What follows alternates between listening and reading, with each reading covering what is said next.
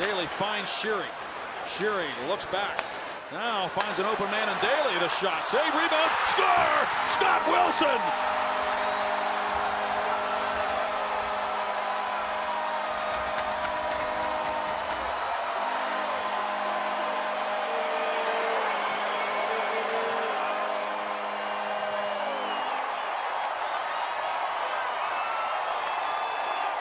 Wilson gets his first point in the playoffs ever, and it's a beautiful no-look goal off a rebound. And how do you expect that one? Daly gets involved.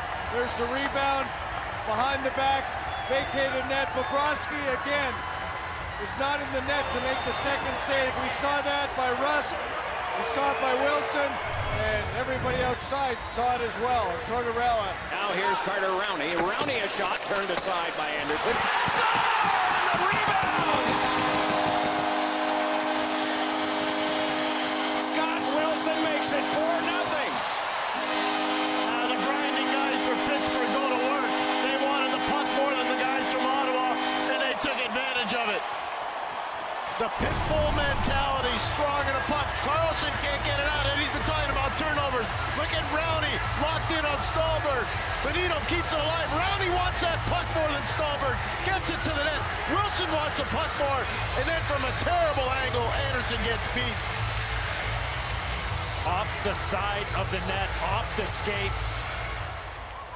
And a 4-0 lead for the Pittsburgh Penguins.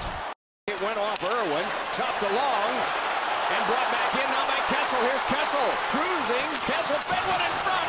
Score! Ricochet off of Predator.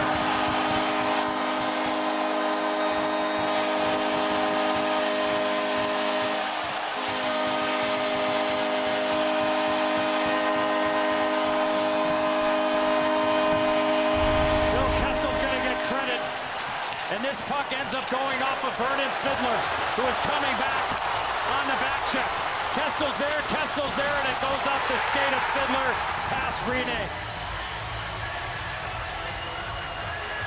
Oh, maybe even uh, Neil Wilson's going to get credit. It looked like it went off of his stick, then Fiddler's skate, and then Pekka Rinne.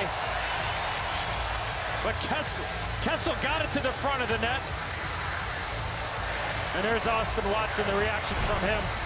And the Penguins with a two-goal lead.